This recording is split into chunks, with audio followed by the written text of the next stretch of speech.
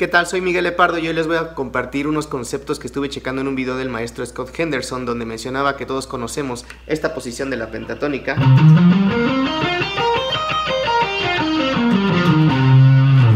pero que podemos tomar esa misma figura y llevarla a dos notas más dentro de la escala para tener más colores en la improvisación y sigue siendo exactamente el mismo patrón. Esos dos lugares es una segunda mayor hacia adelante, hace rato empecé en un do, así que una segunda mayor hacia adelante sería un re.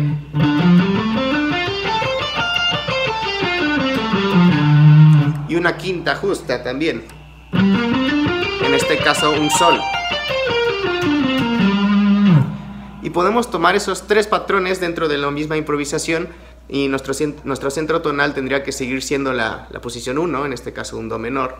Lo interesante aquí es que la segunda figura, la que es una segunda mayor hacia adelante, nos da un la natural, en intervalos sería una sexta mayor, que no está presente en una escala menor natural, pero podríamos este, extraerla de una escala dórica o de una escala menor melódica y así tenemos una nota extra que sale de la tonalidad para tener mejores colores a la hora de tocar.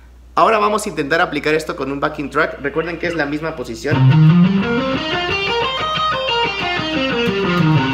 Solamente se va desplazando.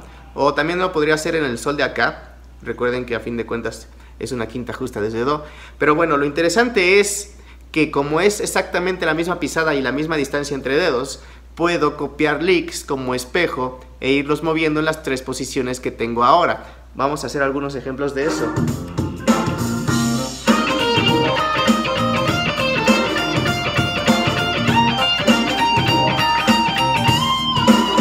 Aquí va otro.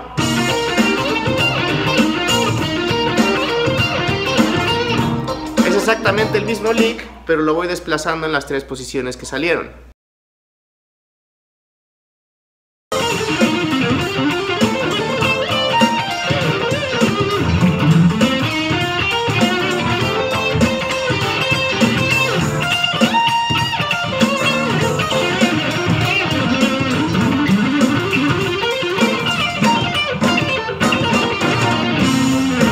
Eso es todo por el video de hoy, espero que les sirva, muchas gracias por verlo, hasta la próxima.